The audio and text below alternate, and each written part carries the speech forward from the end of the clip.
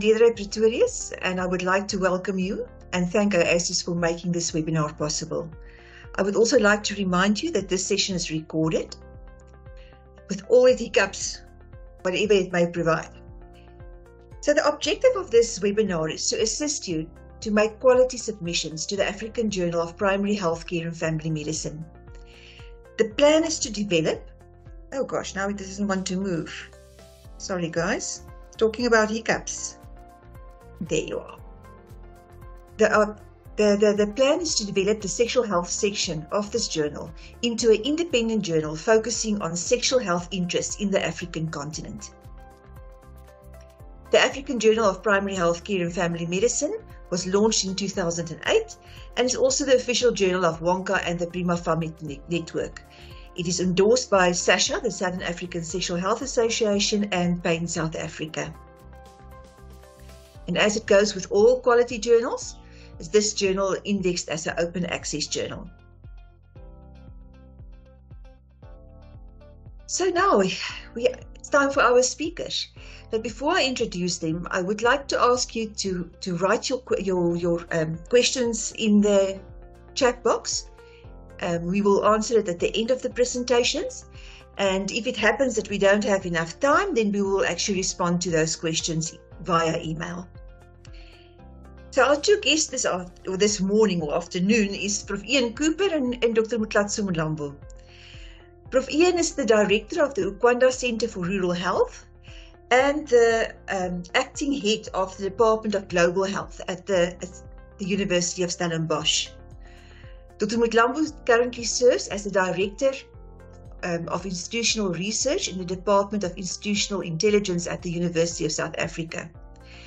Prof. Ian said that he actually stopped counting his articles at 100. And Dr. Motlatso is on her way with over 40. So we are looking forward learning from both these experienced writers. Prof. Couper, you can take over. Thanks, Deidré, and uh, good afternoon, everyone.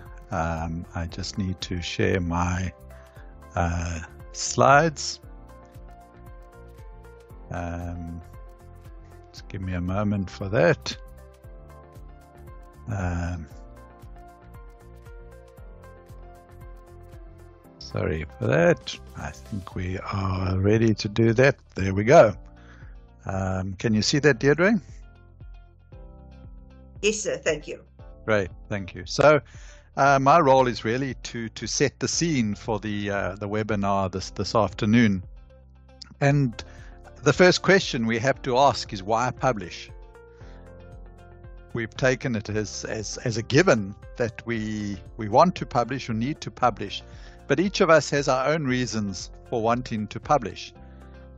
And maybe you want to think about what yours is for a moment and, and why you'd want to publish. If you're in an academic space, obviously there's pressure, publish or perish, uh, but there are many motivations. I would like to argue that if we do research, it is unethical not to publish we have collected data from people and or whatever process we have used to actually not do something with that data and share that information with others, um, I think is unethical. So we, we do have uh, a push from an ethical point of view towards doing that, whatever other motivations we might have.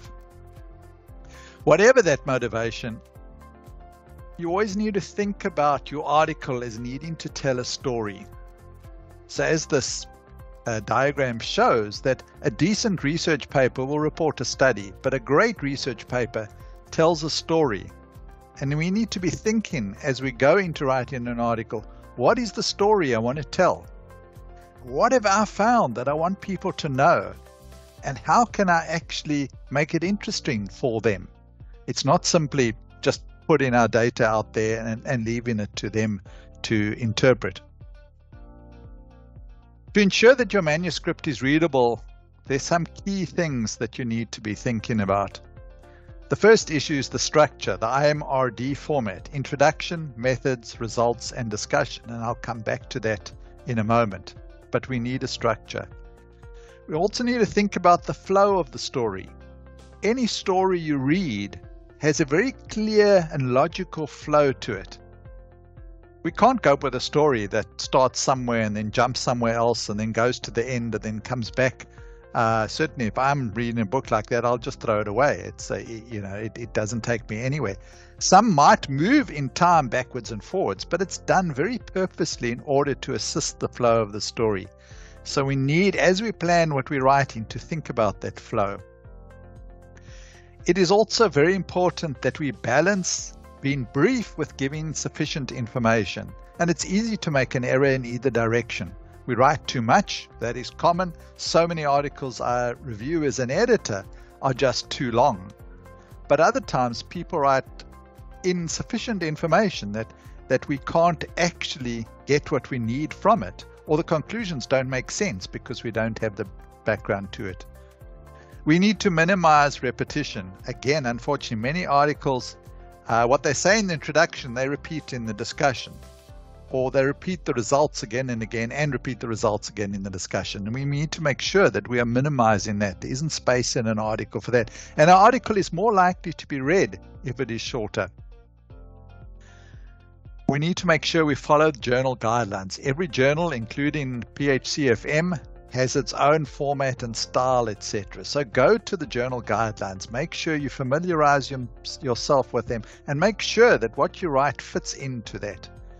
And it's always advisable when you write an article to really be thinking about the journal so that you're writing for the readership, writing for the audience as you are writing. Acceptable language use.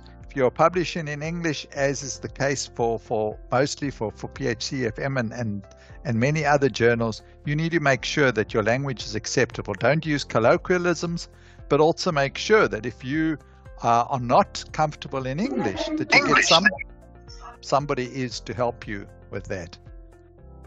And critically, if you are a student, a master's or PhD student, or whatever it might be, don't try and re- reduce your research report into an article. Write it as something new. Think about what is the key message I want to convey and, and write it separately.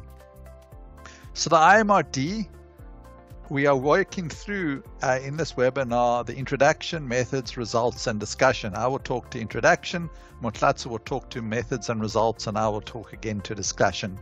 Um, but remember that that is the standard. Each journal might have variations within that, but all of them have that as the basis for, for any format that they use. So, the introduction.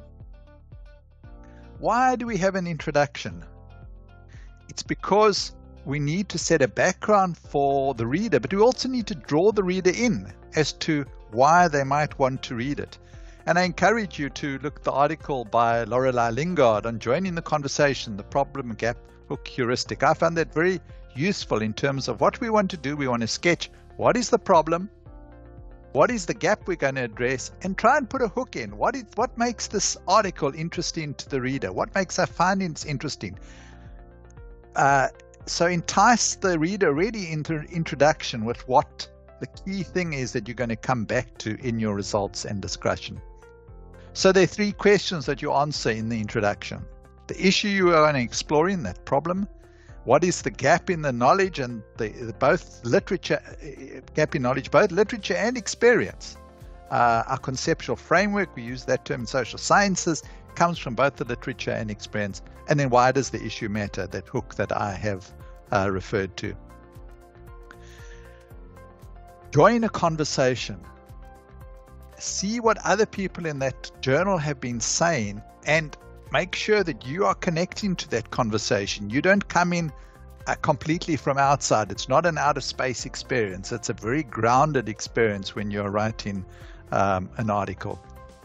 Part of the introduction is a literature review. There's not space in an article for a full separate literature review, so you need to be focused. Make sure you use recent sources. You know, if the most recent source is five years old, immediately it raises questions when one is reviewing an article. Obviously, there might be seminal articles that we refer back to. I mean, sometimes you refer back to, you know, nobody's written something as good as what somebody wrote in 1976 about a particular issue, for example. But those are, are, are few and far between. Organize your literature logically so it has a flow, again, that logical flow. What we want to do in it is to say, this is what is known, this is the gap, that we aim to address, and this is what my study can contribute to the literature, or what I hope it can contribute. At the end of the introduction, we must should state our aim, and, and, and we might have objectives within that aim, uh, but usually the aim is enough. Stated explicitly, it may include the purpose, which is what we hope the impact of reaching the aim might be, and it immediately leads into the research method, methods because we chose our research methods originally on the basis of our aim. And that leads me to hand over to Motlatso. Thank you, Professor Couper. I'm now going to share my screen. Deidré, are you able to see my screen? Yes, thank you. Okay. Um, good afternoon, everyone, and goeiemiddag, uh, dumelang, saubona, tobela molweni, dimasiari, bonjour, jambo, salamand. Greetings to you all in your respective languages. Uh, and let me take this opportunity to thank our host, uh, the sexual health editor, Dr. Pretorius and the AOSIS team for the opportunity to be part of this exciting scholarly webinar where we reflect on matters of uh, getting published. I am always intrigued by the words of uh, the late uh, famous poet Maya Angelou, who said, um, There is no greater agony than bearing an untold story inside you. So, in the case of uh, original research, we strive to tell those uh, stories, those untold stories, using the various methodologies. So, Professor Couper has just given us uh, great insights on uh, writing the first part uh, of the article, which is all about uh, contextualizing the study in a manner that uh, will hook the reviewers and the editors who meticulously go through your submission. So the next section that follows after the introduction and background and objectives and aim and objectives is the method section. So I will be uh, giving you few tips on uh, writing uh, winning research methods. Uh, and um, as you can see from this slide, the methods section is at the center. So it means that it is central to the anatomy of the research paper and uh, it is therefore the backbone of what goes into the research paper. So, as you are writing your method section, it is important make sure that uh, your method section is intentionally visible uh, so that uh, it provides uh, details about uh, how you have conducted your study. Without this part, this centerpiece, you will not have a good research paper or you will not have a, a research paper at all. Now, the purpose of the methods section is uh, simply to respond to the four W's and an H. I'm going to start with the H part of it. So looking at the how part, how. So with the how, uh, here the idea is try is to try and uh, indicate uh, in your research article the plan that you followed in answering the, the research question. How did you go about uh, answering the research question?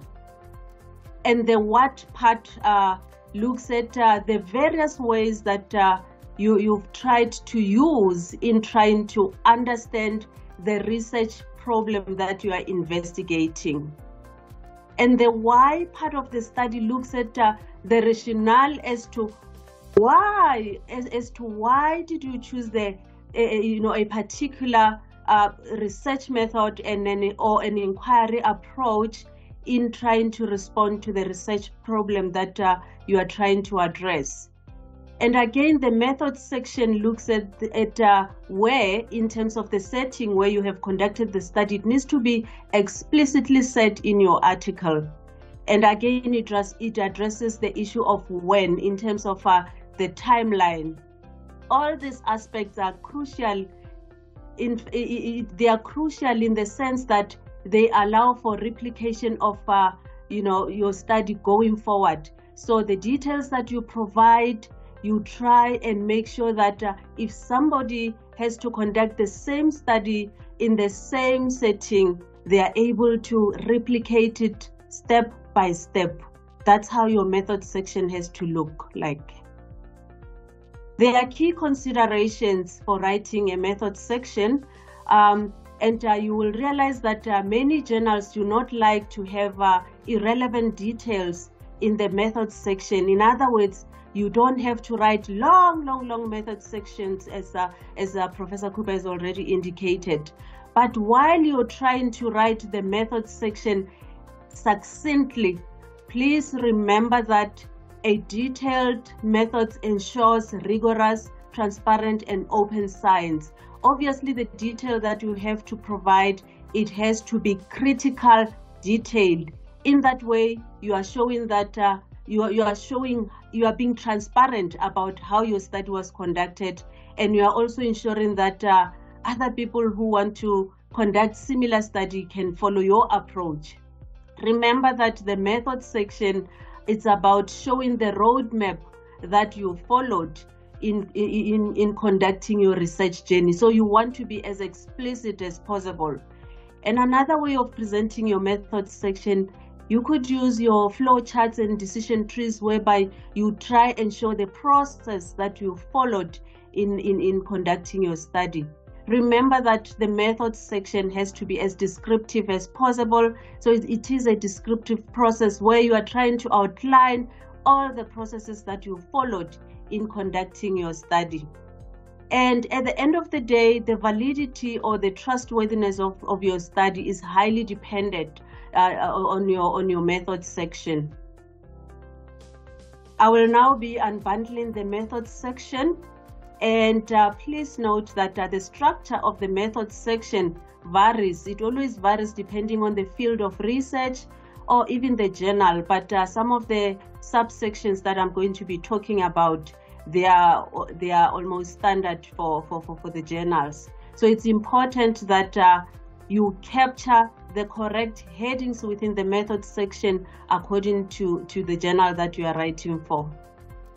So first of all, I'll look at the research design. This is where you need to clearly clarify the methodological underpinnings of the study. As I'm reading your, your, your submission, one should be able to understand, you know, the methodological underpinnings in, as to whether this study is a qualitative or quantitative study. Again, from reading the methodological underpinnings, it becomes very important for one to be able to see what philosophical worldviews or paradigms are informing the study. And uh, of importance to note is that the choice of the design is, la- is largely informed by the nature of the research problem and also in the case of qualitative research the researcher's own experiences and the study audience that the, the, the article is targeting, it's actually uh, also, uh, you know, informs the design of the study. It's important to make sure that your research de design aligns with the research aim, objectives, and the research questions. The next section that I'll look at is the research setting. So in order to assist uh, the, the reader to sort of uh, get a holistic picture about the context or the environment where your study was conducted, it's important that uh, you mention the environmental aspects about the study setting. Here, what I mean is that you will need to indicate where was your study you know conducted. Was it in a home setting clinic setting hospital school setting? You need to provide that kind of detail. And you can even go slightly further to try and give that context and just indicate what are the issues that are happening in that particular environment. For instance, you can highlight briefly just social issues uh, that are affecting the environment and also issues like uh, the available or non-availability of resources. That kind of detail becomes very, very useful when you are writing the results. Uh, I mean, the, when you are discussing your results and you are trying to interpret the results, it gives a good context you will see that there's a certain behavior that uh, you are seeing from the findings, then the setting might uh, sort of uh, assist in coming with the clear conclusions. And then the next section is the sampling. This is where you need to clearly articulate the type of probability or non-probability sampling that was followed in conducting your study. We do know that uh, there are various types here. You need to be as explicit as possible. And uh, from the sampling method, one should be able to match the research question. The two should not be disjointed at all. And you would like, it becomes very important for you to also highlight, uh, you know, the study population and the reasons for choosing that particular study population and also touch on the issues of uh, sampling sampling size as, as to how you calculated it how did you determine that uh, with regards to qualitative obviously you need to touch on issues of saturation which is a highly topical uh, issue at this stage and you also need to just uh, discuss uh, whether you have you had uh, any sampling bias and also the power analysis, you need to explain it clearly in terms of how you have calculated uh, your, your sampling. The next section is the data collection. So this is where you need to be precise and clear, provide a clear description in terms of the process that you followed in terms of uh, what, in terms of the type of data that you have collected and uh, the target populate, uh, population for your study and the reasons why you've chosen that uh, population. And you need to indicate the kind of approach that you have actually used in uh, collecting data and provide the reasons that uh, led to that decision. And uh, it becomes crucial as well for you to be uh, to explain the steps that you followed in trying accessing the participants for your study and also indicate who actually collected uh, the data issues of consent to participate, refusals and reasons also, they are very critical, especially when it comes to qualitative. You want to mention the reasons as to why did other participants uh, refuse. In case you are doing, uh, you know, quantitative, or you are doing an experimental study, you would need to mention, you know, the kind of interventions that uh, your study entailed, how were the groups compared, etc and again mention issues of uh, the period of data collection. How long did it take to collect data? What sort of challenges did you encounter as you were trying to collect uh, data and uh, with regards to the qualitative, you should also highlight issues of whether you went back for repeat interviews or you, you returned the transcripts for validation by the participants. And as part of the data collection uh, you know, section, it's important that also you highlight issues of uh, instruments, you know, the instruments or tools that you have used to collect data. You need to clearly stipulate uh, how were the data collection tools or instruments developed. Did you use an already available tool? Uh, did you or did you modify it? or did you develop a tool from scratch? If you did, what informed such development? So you need to be as explicit as possible. Remember, we're talking about uh, replication, so you don't want to, to, to leave important detail. And it's important as well for you to give a brief, uh, just a brief detail around uh, the content, what is covered, you know, in the tool and uh, mention issues around the validity and reliability of the tool. How was it measured? uh, and I'm looking at uh, the content validity there. Did you even pilot your study? When did you do it? So you need to mention that those kind of things. And then the most critical part of uh, the method section as well, it is the data analysis where you need to describe you know the processes or the techniques that you followed in preparing data for analysis. And you can even indicate some softwares that you use to analyze your data indicate issues of uh, you know statistical tests that you performed. Did you do descriptive uh, you know analysis or inferential analysis? So you need to provide that kind of detail. In the case of qualitative you need to indicate uh, the analysis approach there are many approaches that that uh, one can follow you need to indicate and the reasons why you choose that approach of importance you need to also show the alignment of the analysis method with the research questions. There should not be, uh, you know, some some gap whereby one is uh, is left uh, having questions around. Uh, a, you know a particular analysis method in the case of quantitative you need to look at how measures were uh, how measures were scored and converted into variables you also you need to look at the codes and the themes uh, identification in the case of you know, qualitative, whether you used inductive or deductive uh, approach. And again, in the case of qualitative, uh, you need to indicate uh, the issue of uh, data coders. Did you have one? If you had more than one, how did you address issues of uh, intercoder reliability? And lastly, ethical considerations are critical. How did you adhere to the ethical, you know, you know, consideration throughout the study? That is uh, before you even, you know, started uh, with your study. How did you make sure that you adhere to the ethical aspects?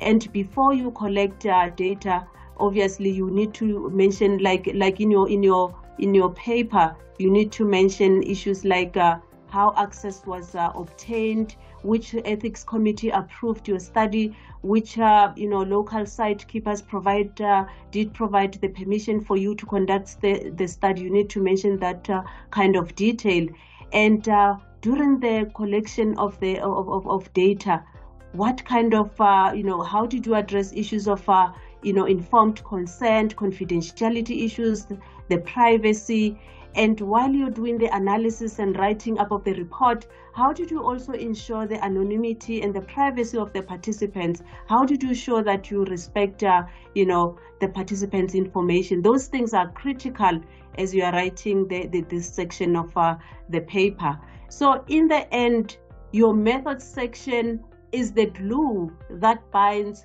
all the sections of the paper together. So you, you need to be explicit about how you did your study, what steps you followed, why you followed those steps, and uh, where you did your study and when you did it. The reviewers will be smiling all the way while they're reviewing your article if you do that. Thank you. I'm going to now give handover back to Professor Couper for the next section. Thank you, Dr. Mlambo. Um, I, I, was thinking when you were talking about Maya Angelou and that, that quote, I've just read a novel called The Library of the Unwritten, which is about unwritten stories which land up in hell. Which it, very, it was very no, the whole concept. We all have unwritten stories, and if we don't finish them, what happens to them? Uh, but anyway, I must move on to my next uh, section. Thank you very much for uh, for that that input. Um, and yeah, so I, it's my job to to wrap up then with the results and discussion. And really, when we're talking about the results and discussion, we're talking about the what. What did you find? That's the results. And the so what. It's explain to the read, reader what you think the meaning of your results are. Um, you've had time, you've have all the detail. You can't present all of that, so you need to do that explanation to uh, for the reader. When you are presenting your results, choose what to report. You don't show all your results. That's not because you're hiding things. It's just there isn't space. You've got so much to, to, to results that you will have obtained, um, and sometimes you can't put all of your research in one article. You might need to do more than one article. But even if you write in one article in your research, you need to choose how does it link to your story? What illustrates your story best uh, in terms of without hiding things and, and certainly be it's important to pre- pre- present negative results as well as positive uh, results, particularly if you're doing quantitative work. So don't dump all your results into this section and leave the reader to try and battle their way through it. Choose what you're going to show and choose what you will highlight. So again, you might present a whole lot of results in tables, but think, what do I want to highlight? What do I want to point out to the reader so that they will make sense of it? It's important here that when you use tables, that you balance what's in the tables with the text. Don't repeat everything in text that is in the table. Your text is to point out the key findings or what is significant or, or how the tables relate to each other. It's not about simply repeating what is in in the table or diagram or figure whatever you might have so it's important to avoid duplication when you're doing that too often there are too many tables in articles that are submitted many journals actually limit the number of tables Too often the tables are too detailed, so it's difficult to make sense of them. And too often uh, the text duplicates what is in, in the tables. So pay attention to that. And then the discussion, the so what. What is the purpose then of the discussion? The key thing that you're doing in the discussion is saying, Have you answered the question, so what? Have you answered the, the question you set out to answer when you embarked on this research? It's not a matter of simply taking each result and saying something about each result uh, in your discussion. That is a very boring discussion, uh, and and uh, we need to find ways to move beyond that. So bring the results together and explain how they have answered your original research question. Link into the literature, link, into your experience, linking back to the introduction. You need to show if you have addressed the gap. Remember the problem gap hook? So you've answered the research question or you haven't, you've addressed the problem. Address the gap. You've said you are trying to meet this gap in the literature. You've got to refer back to that and show how you have contributed to the knowledge um, that is there, that you've added to what people know already. And then you also need to talk about what were the limitations in addressing this reflect on, on where your research couldn't go or where the limits are such that you can't make broader statements or generalizations or whatever it might be. Um, so that's a key part of your discussion. Another key part of your discussion is the conclusion. Uh, some journals have it as part of the discussion, some have it as a separate section. It doesn't matter. What are you going to put in your conclusion? And it's really what you're putting is the key lesson from the story. Why did you want to tell the story in the first place? So, what has come out, the conclusion that you're making from that? And linked to that is what is the message you want everyone to take away from your article? Uh, many people, unfortunately, will jump to the conclusion when they read your article. So you must be very clear of what the message is that you're trying to get. And if you have a good message, people sometimes then go back and read it to find out how did they get to that point, uh, and that that message in uh, the article. So from that, I want to jump to something more general, but equally critical uh, in terms of, of writing your article. So you've you've presented the story and everything I get. But if you have more than one of you writing the article together, it is important that you satisfy the International Committee of Medical Journal Editor Editors rules for authorship. And there are four criteria that must be met. So you must make sure that everybody's on. And this is a problem because we know, unfortunately, in some academic institutions, the head of department wants to be on every article. Well, they don't very often meet these criteria, and it must be used uh, strictly and the International Committee of Medical Journal editors said that unless these are met, art people should not be credited as authors. They can be acknowledged in the acknowledgements, but they shouldn't be authors. So the first is that the author must make substantial contributions to the conception or the design of the work, or, because sometimes people come in after the protocol, the acquisition, analysis, or interpretation of data for the work. So it can be around interpretation, but if there's substantial contribution uh, there, uh, it, it, it satisfy the criteria. Secondly, authors must be involved in drafting the work or revising it critically for important intellectual content. Often, when we work as a team, one or two authors will be responsible for drafting and others are involved in, in revising it. But there must be uh, a critical engagement at that point. Thirdly, you have to give final approval when the version uh, of the version that is published. Um, so it can't be submitted without the final approval of everyone who is an author. And lastly, and this has been added more recently by the committee, that every author must be in agreement to be accountable for all aspects of the work in relation to its accuracy and integrity. So everybody is jointly accountable. You cannot say if there's a challenge, oh no, no, well, you know, it, it was my, my students' work, you know, I, I, well, uh, sorry, you are accountable if your name is on there. So these are important uh, criteria to remember. Some broad tips for writing. Learn by reviewing. Every journal, including primary healthcare and family medicine, needs reviewers. We need good reviewers, obviously, but you learn by doing. Uh, and certainly, when one chooses reviewers, one cho- tries to choose some experienced reviewers and some less experienced reviewers. It's a learning process, but get involved. That's how you will improve your own writing. Partner with experienced authors. I talked about writing together as teams. Uh, try to be bring in experienced people into your team that can support you uh, and help you in the process of learning. If you're not completely comfortable, get language assistance. Uh, in the Center for Health Professions Education, where um, I do a significant amount of teaching, it is a requirement of all MPhil students that they have to submit their work to an editor before they can actually submit the final research report because this is so uh, important. It can make such a difference.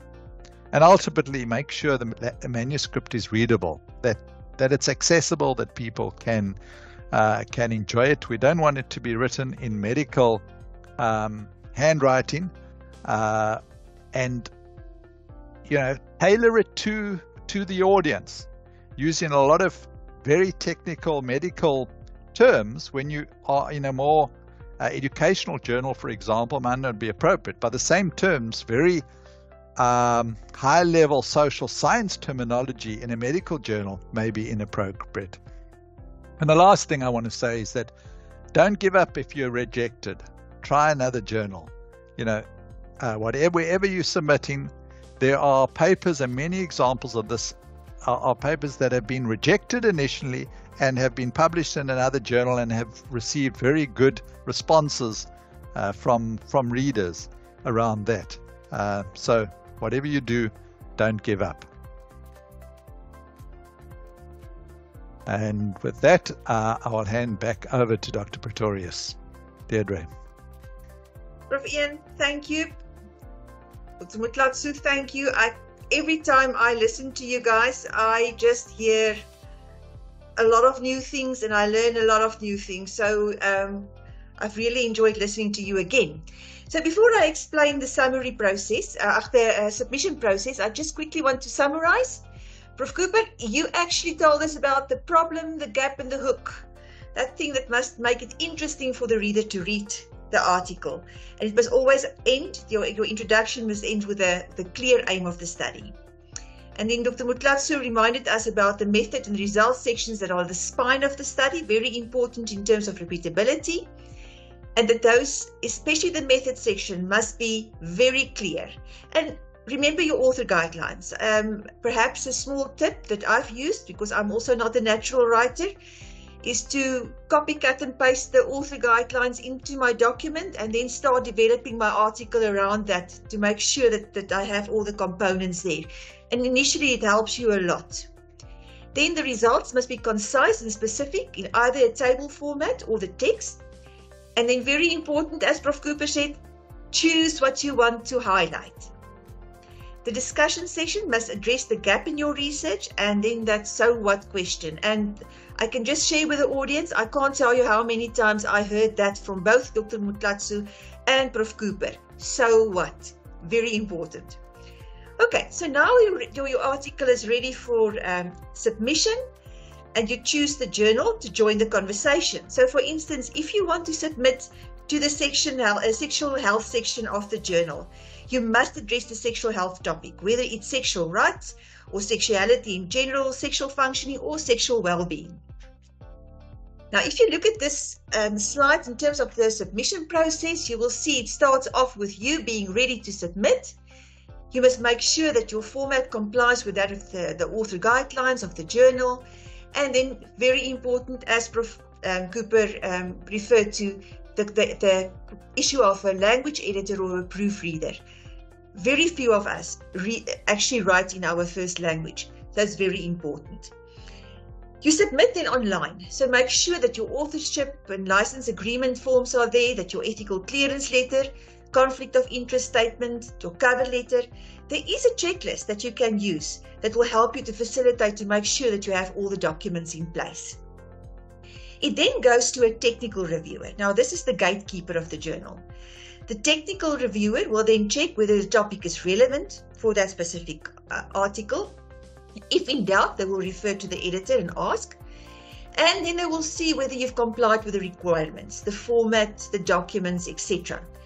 When they are happy with it, they then actually refer it or, or allocate it to a section editor. When the section editor um, gets this document, we invite reviewers. Now, you may think it's easy to invite reviewers. You click a button and you invite them. Sometimes they don't respond for weeks. So you re-invite them and you remind them and you phone them. So that's where the, the process of patience starts for for an author. After your submission, there's a lot of things that's going to happen. And one of the delays is actually getting the reviewers. Now these reviewers are selected based on their interest in either your topic or your research methods. So when the reviewer agree or agrees, then the reviewer will um, we will send the, the document to the reviewer and give them time to actually go through your document and give feedback. They give feedback to the section editor, but very important, they also make a recommendation. And they can say accept as is, which seldom happens, or accept with minor revisions, which is most likely going to happen, or resubmit for a review. So they feel there's a lot, the, the article has potential, but there's a lot of things that needs to change or move or whatever have better description or less. So upon the resubmission of these corrections that the authors did, this will go then again to the one of the, the previous reviewers. So we don't send it to a new reviewer, reviewer that will add new inf- new questions, etc. It goes back to one of the previous reviewers. And they can then say, okay, yay or nay, we accept it or we decline it. Or it can be basically declined from the very beginning that the reviewers feel is not good. But usually we try and find the potential in the article, and if it's well written, we can work with it. After that, it's sent for production. An invoice is generated, and then you must pay that before publication. That's the, the more difficult part for the writers. The production team will then set your article in a way that, that it looks when it's published. It's actually nice to see it the first time, how it really looks when it's ready for publication. You may be asked to do final corrections or clarify some aspects. Sometimes they will ask you this table, is it yours or did you copy it somewhere? Or this abbreviation, are we right if we assume this is what you say? So they may ask you for some clarity. If everything is in place, then it's released for publication. So, yeah, we are looking forward to receiving more publications from you. And before we say goodbye, any questions um, I've seen people requesting the um, the slides. I don't know whether my colleagues have a, a, a problem with that. We'll, we'll, come back to you. Rekani, I see your hand is up. You're welcome to talk. Thank you. Thank you so much. I want to say um, I enjoyed the session. It was very, it was reviving for me, as I once published with the same journal.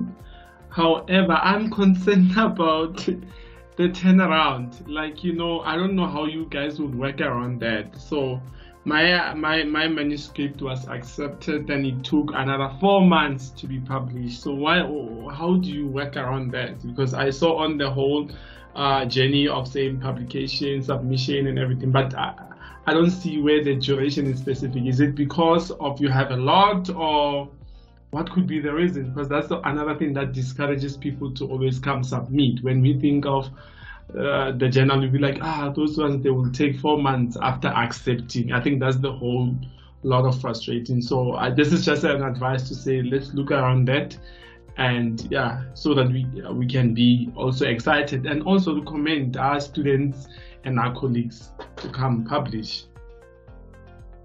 Thank you for that feedback. And, and what you are saying there is very important. And Prof. Couper, I would like you also to respond to that. Um, just from my side, because it is in this journal, um, it, the, the, the first, the technical review is about seven days, and that's usually quite easy. The problems start inviting reviewers. Um, you will find that some of our colleagues read their emails once a month. Um, sometimes you have a specific um, topic and you don't have reviewers for that. So you will you would have noticed that in January we actually sent out a request for reviewers, especially for the sexual health section. So we need some expertise, and and sometimes it takes time to get it.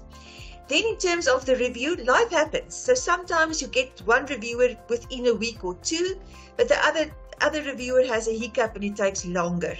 So unfortunately, um, it is it is a long or a lengthy process. Um, I can just say to you that our weekly statistics in terms of our turnaround times is definitely competitive with a lot of other good journals. Prof. Ian, you are also in this business, so perhaps your comments? Yeah, I mean, for me, the biggest challenge, uh, I work as an editor for two journals. Uh, the biggest challenge is in finding reviewers. Usually, if reviewers agree, I mean, yes, you have to chase them up and so on. But I mean, sometimes I can tell you for a BMC medical education and rural remote health, I can invite 20, 25, 30 people without getting responses. Uh, at some point, you need to say, is it because of the topic? Is this topic not appropriate and therefore nobody is interested in reviewing it? Uh, and you've got to go back and look at it again. But yeah, it's just, I mean, the volume of articles that have been coming out since COVID has just been phenomenal, and that has certainly been a part to it. Unfortunately, there are many people who publish a lot who don't review. And the way that, I mean, I do a lot of reviewing for other journals as well, because I believe that it is our responsibility as people who publish, as academics, to be involved in reviewing. And for every article you publish, you should be reviewing two, uh, at least uh, two articles for, for other authors, because you had the privilege of having your article reviewed uh, in order to get it published if in your question you're talking about what happens once an article is actually been through review and accepted to publication, I can't respond to that. The journal will have to respond, but that should be short. Once you've actually finally been accepted, it should be a couple of weeks uh, and no more than that. Prof. Couper, you're very right. It is a couple of weeks. The, the big challenge is the review. So, um, all I can ask have you registered as being a reviewer, please? That will help us tremendously. Any other questions? Well, it seems to me that the two of you have done such a good job. There's no questions. Ah, there's one. Sunanda. You're welcome to talk. Sorry, I was just trying to unmute. I just wanted to respond about the length of time after the acceptance. Um, to some extent, I think um, if if an author gets their paper accepted, then in in a sense they should take a deep breath and feel glad about it. But there's a whole production process after the acceptance, um, and it also depends on the time of year, because I think if the papers start going through the proofreading and the the galleys and all of that just before um, you know the close down of the universities then it could be an extra month just over Christmas. So um, those are all the reasons. It, it, I think it usually takes more than two weeks. Um, and then sometimes also the journal will uh, will collect articles so that sometimes you have the same theme or you know uh, if, if particularly if it's in the sexual health collection it may be that it's going to be paired with something else those are the reasons but i think once you've got your paper accepted it's going to be there at some point. It's just I know people are excited to see it in print. Uh, the big problem is the gap between, um, uh, you know, trying to get a review, but also if the paper is borderline and it's been um, the decision was resubmit for review, and you have to send it back to the same reviewer, then there's a very That's long gap. And sometimes as an editor, I actually make the decision myself. I go through it and give feedback on what needs to be done. And sometimes you have to send it back. I've had papers I've sent back three or four times to try and get it to a standard that is acceptable for the paper. And I think authors don't understand that, that we're in a way the gatekeepers for quality. So we want the papers to be of a high enough quality for the paper, for the journal. Thanks. Thank you, Sunanda. I think that's a very, very valuable contribution. Um, I can just say that from my from my own side, I have also resend papers and even arranged for after hours sort of tutoring to try and see how you know how can I help you because you can see it's a good it's good research but the writing is is is is, is, a, is a problem um, or the way they, they compile it. And and unfortunately not all of us are natural writers like Prof Couper and Motlatso for some of us it comes with really really a lot of headaches. So um, thank you for that. Um, I, I I really appreciate that contribution. So Prof Couper I don't know anything that you want to say as as a conclusion? Yeah, I'm not sure I buy into the natural writing. It, it, it takes practice. I mean, that's that's, that's the thing, you know. Like anything else, you you've you've got to uh, practice at it, and you know, the the the more you practice, the the better you get. But I, I come back to you know writing with other things. I mean, with other people, and when I moved to Stellenbosch, I mean, I'd published a lot but not as much in health professions education and to write with some social scientists who who were very experienced in, in health professions education actually really improved my writing and, and enabled me to take my writing up to, to another level. Um, so we can always learn and grow and, and improve.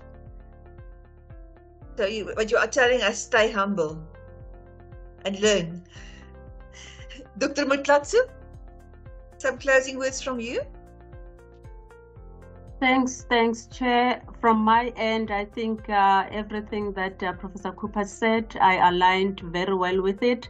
And just to say that, uh, you know, creating a habit, just a habit of uh, writing, you know, and blocking the time to actually make sure that uh, you do write, even when the time does not necessarily allow, it will really take you to the next level because you will never actually have time that you say, you know, I've got ample time to write. So make that time and make it a habit, and then writing will come naturally.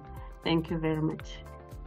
Thank you, Dr. Motlatso. So, um, again, for the two of you, I really appreciate the time that you've dedicated to this and our audience. Uh, we hope you've benefited. And if there's something like this in the future, that we see you again.